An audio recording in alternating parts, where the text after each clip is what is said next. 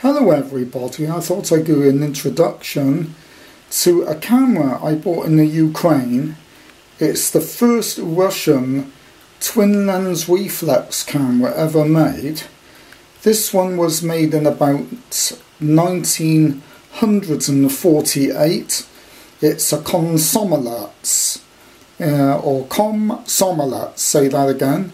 It's made of Bakelite has a zone focus lens, a fixed tops lens. It's what's known as a pseudo TLR.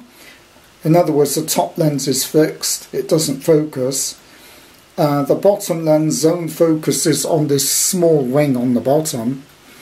Um, this camera was modelled on the Voigtlander Brilliant from, I believe, 1932 this one was made after the model, I believe it's the Model 6, the Voigtlander 6.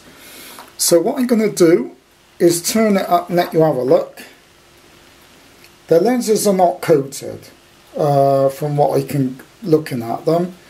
The camera was cleaned by the guy I got it off. There's a couple of specks of dust on the mirror, but um, um, I don't know why that's there if he said he cleaned it. But anyway, it all works.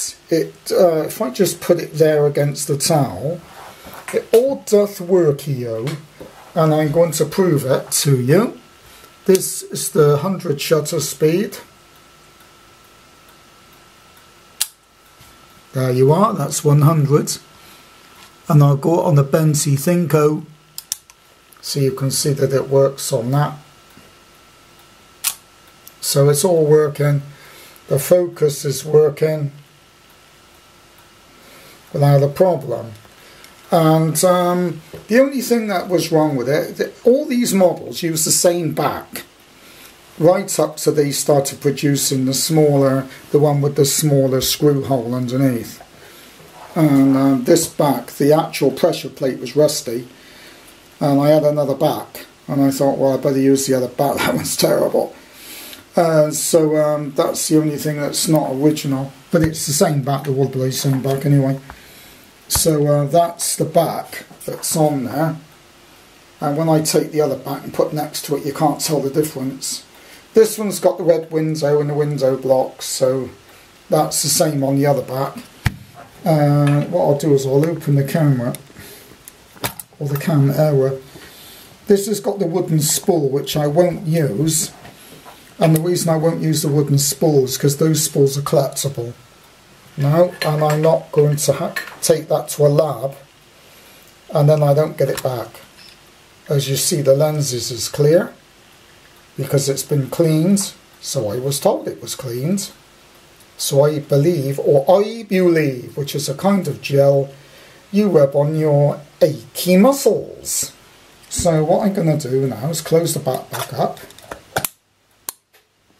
It's got a bit of a, a gap on the back corner. Not sure why that is. Um, so I'm not sure why that is. It's a bit weird how that's like gone like that. So I'm hoping no light gets in there. But I can always bend that catch slightly. And I just hope um, that that will do. Anyway, I'm sure I can do something. If not, I'll have to put the other the other back back on. That's the front piece. It opens up and it's been cleaned and that. It's been painted by the look of it.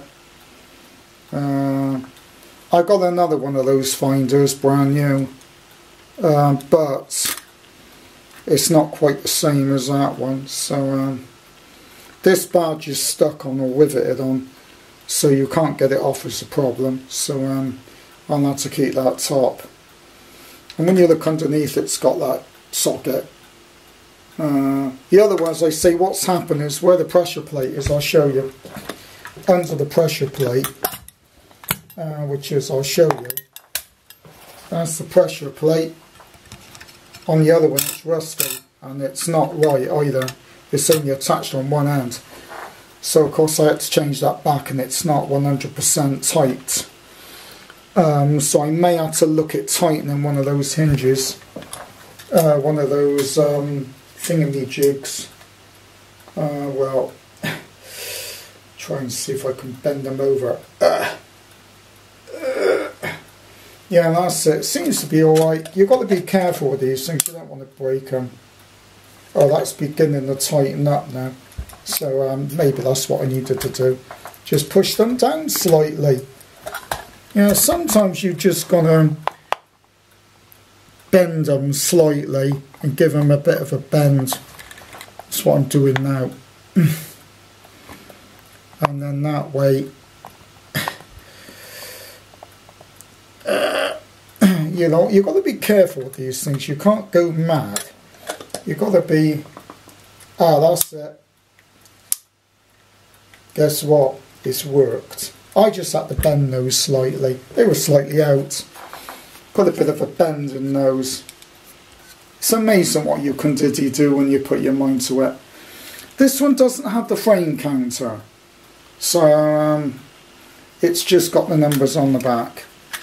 And that little panel is where you keep your filters, if you've got the filters that is. All you do is you just swing it round and inside there's two metal clips. That's where your filters sit in. The later models don't have those clips, it's just open. And that's where you put your yellow filter and your red filter. The prism in this will be glass. And the reason it will be glass is because it's too early for the plastic. Um, and I just, sorry the camera's a bit wavy. That's the case, or as I call it, the Cassie. Uh, I've got the strap, uh, but I'm using the strap on another camera, so uh, um, I bought another strap for the other camera, and I can put it back on here. But anyway, that's my first kind of review. The Komsomolets 1948. And apparently, the Komsomolets was an armoured tractor. Uh, when I looked at a picture of it, it was actually, it looked like a tractor with a gun on it. Uh, with some seats that looked like they were out of an old minibus. So I don't know quite why it was called that. But they also had a submarine they called the Komsomolets as well. So I'm hoping that this will interest you. I also have every Lubitel that was ever made. They made um, five different models of Lubitel. They made the one, the two, the Olympic, which I call the Model A, and then they made the B, and then they did the um, the number two, and then they did something called the Universal. I've got a brand new Universal, it's still in the packet up there. Anyway, that's it. So we'll say bye bye everybody, and I hope that you enjoy. So I say this one's got the old fashioned bottom. I don't have another bottom. All these bottoms fit, even the um, the one the Lubitel 2 bottom will fit this body. It's the same molds. So if I got another number two body, I can swap the back. I'll swap the back. That way, I can use the tripod. I can't put this on a tripod because I don't have um, an insert that small, well that big. So we've got to wait for a number two that's in good nick, but the lens is stuffed or something like that. Then I can change it over. Muchas gracias, everybody. Eh? Muchas gracias. Goodbye in Spanish.